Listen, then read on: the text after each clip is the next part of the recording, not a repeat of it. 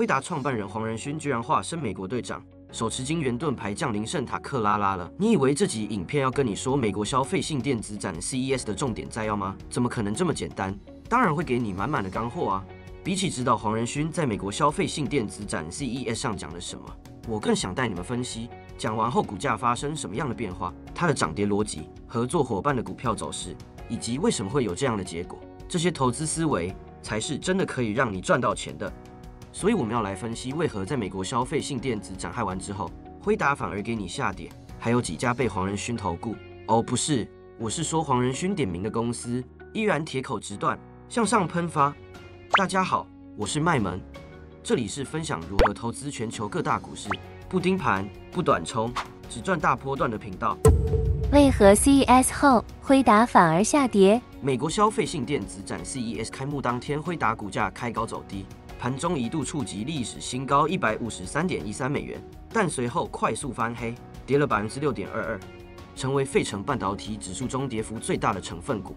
这一幕吓惨不少投资人，到底发生了什么事？CES 展示科技行业的年度盛事，每一场大场演说都可能影响市场格局，而辉达作为 AI 晶片的领头羊，大家对它的期待值自然拉好拉满。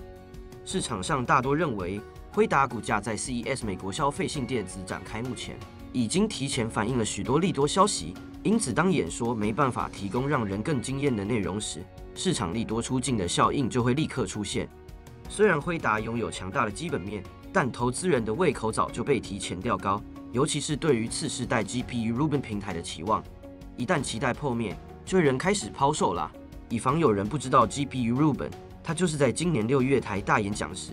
黄仁勋预告的下一代 GPU 代号，这款晶片会是辉达未来 AI 计算平台的核心。而黄仁勋在 CES 电子展中几乎对于新的 GPU Rubin 只字未提，目前相关资讯非常少，让大家大失所望。Rubin 平台原本计划在2026年问世，因此在 CES 电子展上并没有打算说太多，也是在情理之中。但是这并不能抚平投资者的情绪，因为太多人在敲碗了啦。而且没有提 Rubin 就算了，现在的 Blackwell 晶片的量产规模也没有给出更明确的进一步计划。原因二是市场情绪和整体行业的成长疑虑。虽然辉达 NVIDIA 的基本面还是很强，但整个半导体行业的成长速度开始受到质疑。因为 AI 和高效能运算的需求虽然强劲，但是未来成长速度可能会变慢。而且这次黄仁勋的演说主要在说辉达的长期战略，对未来技术布局充满信心。但对于短期内的财务数字不会有太大的加分。对黄大哥摆明着说，对于财务不会有加分。既然公司获利不会更上一层楼，自然无法成为股价进一步上升的催化剂，市场的反应当然就跟着冷淡了。虽然说 CES 带来股价震荡，但我们也不能不提其中几个可列入参考的亮点。亮点一是 AI 超级电脑 Project Digits，辉达推出了一款起售价三千美元的 AI 超级电脑 Project Digits，专为 AI 开发者设计。这款产品将进一步深化开发者生态系统，并为长期发展奠定基础。亮点二是 Blackwell 晶片的量产。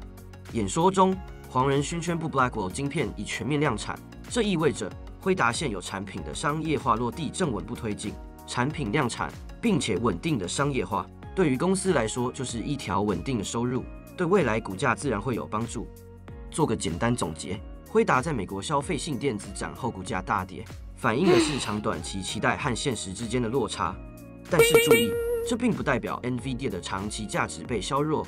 建议正在看这支影片的你要关注几个点：第一是未来财报表现，接下来几个季度的财报将是市场评估会达成长潜力的关键；第二是技术更新进展 Ruben 四是带平台的进一步消息，可能成为未来股价上行的重要催化剂；第三是长期布局机会。股价下跌或许是分批布局的良机，特别是对于长期看好 AI 与高效能运算需求的投资者。以上就是为什么辉达在 CES 电子展后股价下跌的原因。你觉得这是市场反应过度，还是黄仁勋的战略布局有瑕疵？欢迎在留言区分享你的看法。为何美国消费性电子展后，美光股价大涨？黄仁勋正式宣布，美光成为全新一代 GeForce RTX 50 GPU 系列的记忆体供应商。这代表美光的高频宽记忆体技术将成为惠达新时代游戏显示卡的关键零组件。这消息一出，直接拉满了市场对美光的期待。高频宽记忆体技术是人工智慧与高效能运算中不可或缺的。就好比你去买电脑的时候，店员总是跟你说记忆体要不要再加高一点，会跑比较顺哦。你听着以为他就是要推销作业机，硬是不升级记忆体，回家才发现真的跑很慢。同样道理，对于 AI 这种需要高效运算的东西，优秀的记忆体必然不可或缺。而辉达作为全球 GPU 市场的领导者，每一次点名供应商，对市场来说都是一种高度的技术背书。这让投资人迅速意识到，美光的技术地位将在未来几年内变得更加稳固、更加不可动摇。所以啦，美光股价在六日单日上涨超过百分之十，接着七日再涨百分之二点六七，收在一百零一点九亿美元。在新年的前四个交易日内，美光累计上涨超过百分之二十，成为市场焦点。我们可以从以下几点看出股价飙升的原因。首先是高频宽记一体技术需求暴增。美光在二零二四年底已经预测，二零二五年高频宽记一体市场规模将达到三百亿美元，且产能已经售罄至二零二五年。高频宽记一体的需求爆炸性增长，而美光作为核心供应商将直接受益。而且，高频宽记忆体是 AI 模型训练中不可或缺的技术。随着生成式 AI 的兴起，例如 ChatGPT 等技术的进化，市场对高频宽记忆体的需求只会增，不会减。投资人当然更看好美光未来的成长空间。再来，美光的股价在九十二至九十三美元时是被低估的，他个人也在九十八美元再次加码，预测美光有更大的上涨空间。这种知名投资者的信心喊话会进一步推动了市场情绪。作为辉达新一代 RTX 50 GPU 的记忆体供应商，美光成功在高阶市场中站稳脚跟，其实背后还有很多细节。美光的高频宽记忆体技术拥有极高的传输速率与效率，能支援 AI 训练中的庞大数据流量，这正是辉达显卡需要的性能。而辉达为啥就偏偏选美光，不选其他厂？会被选上就不仅是技术认可，更是一种信任，代表美光有能力稳定供应高品质产品。所以与美光的合作，不但能推动 RTX 五十系列显卡的成功，也能巩固美光在高端记忆体市场的地位。形成双赢。未来，美光的成长动力主要集中在以下几个方面：随着 AI 和高效能运算的普及，高频宽记忆体和动态随机存取记忆体的需求会急速增长。美光在这两个领域的布局已久，所以美光的市场规模会持续扩大。虽然与 NVIDIA 的合作非常关键，但美光同时也在拓展其他领域，包括自驾车、云端运算等市场。这些领域同样需要高性能记忆体。未来的营收来源会更加多元化，不过美光也有一些问题需要解决，包括记忆体价格的波动，还有如何持续控制成本以维持竞争力。AI 不断往普及的道路迈进，投资者也要有提升生产力的工具。超直觉波段软体顺潮流升级功能，让你不用绑在电脑桌，同一个装置，电脑、平板、手机各种装置都可以通用。不会看筹码，不会看背离，不会看承压。不会看强弱，还有软体辅助，筹码强弱透过彩色 K 线变色，让看盘更直觉。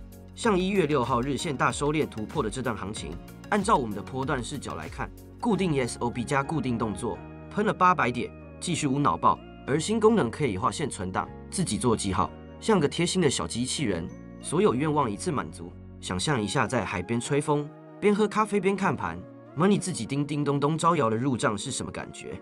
现在只要你是我的粉丝，都可以参加我的礼尚往来活动。一月底前在维谷利订阅任何文章，都有机会抽中软体进阶版的使用权，还有专属的群组讨论等等。看完影片可以在资讯栏里找到连接哦。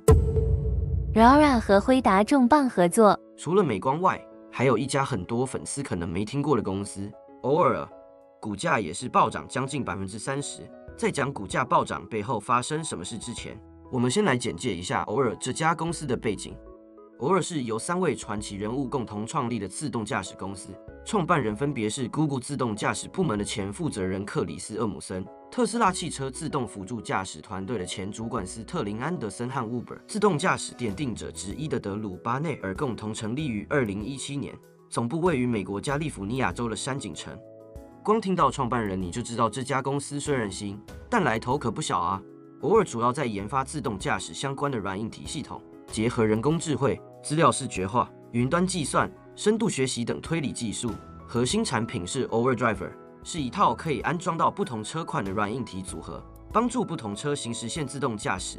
目前这套系统已经可以成功整合轿车、商务车、小货车、重型卡车、运动型多用途车等多种车型。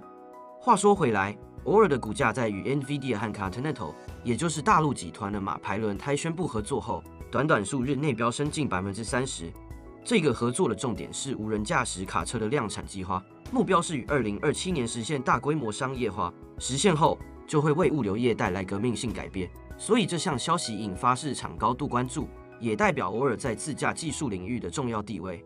偶尔宣布将会在 L 四级别的自驾系统中采用辉达的系统，这些尖端技术可以提升自驾卡车的运算性能和可靠性。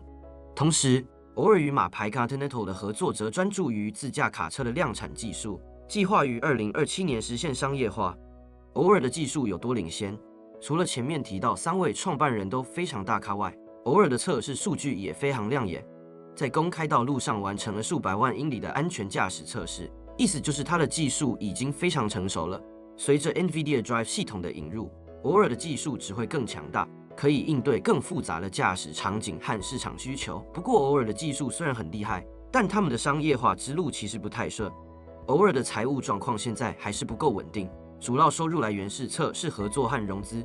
偶尔希望未来能采用按英里计费的商业模式，实现稳定的收入来源，但这个模式还没有验证成功。从财务数据来看，偶尔的营运亏损在过去几年一直高达七点三亿至八点五亿美元，研发支出和市场推广费用是主要压力来源。如果偶尔不能如期商业化，财务压力只会越来越大。再说了，无人驾驶技术的全面落地也需要更多监管机构的支持，毕竟法规和政策都还没有确定下来了。话说回来。对 NVIDIA 而言，和偶尔的合作也是 NVIDIA 在自驾技术领域的重要布局。因为自驾车市场需求预计将在二零三零年达到超过六百亿美元规模，NVIDIA 与偶尔的联手可以在这个非常竞争的市场占据主导地位。相比 Google 的 Waymo 和 Tesla 的自动驾驶系统，偶尔专注于长途货运市场，特别是针对物流行业的解决方案。这样一来，可以在竞争激烈的自驾市场中形成差异化优势。偶尔的股价在二零二四年已上涨百分之九十一，但我们如果把时间轴拉得更长，从过往四年的股价来看，我们会发现偶尔股价是非常高波动的。也就是说，市场对偶尔的未来潜力和风险都还在评估中，所以评价是很极端的。对长期投资者来说，偶尔是极具潜力但高风险的标的。如果你看好无人驾驶技术的未来发展，那么偶尔值得持续追踪。但切记，在股价快速拉升时，你就要非常小心风险了哦。当你希望在你达到财富自由时，身边能有人和你一起去游山玩水，别忘了把影片分享给他，一起往财富自由迈进，这样你自由且不孤单。好了，以上就是我们对于 NVIDIA 和相关公司产业的看法。如果你对于某个经济议题、投资商品或产业有兴趣，都欢迎留言给我们，我们将会为大家整理出重要资讯。连带融入基本面、筹码面跟技术分析，一起来挖掘具有长期波段潜力的投资标的。辛苦可以一阵子，而不该是一辈子。布丁盘不短冲，只做趋势盘，这是我的理念。我是麦门，我们下次见。